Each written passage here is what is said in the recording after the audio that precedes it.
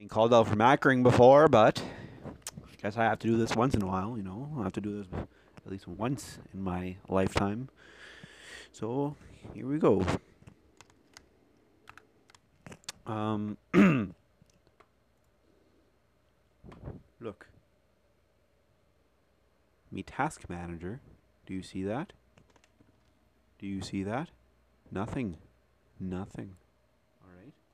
Nothing. There is absolutely nothing here.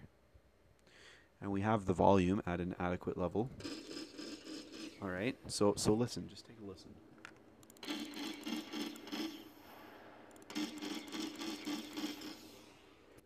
Macroing is for noobs, all right? Now, ma-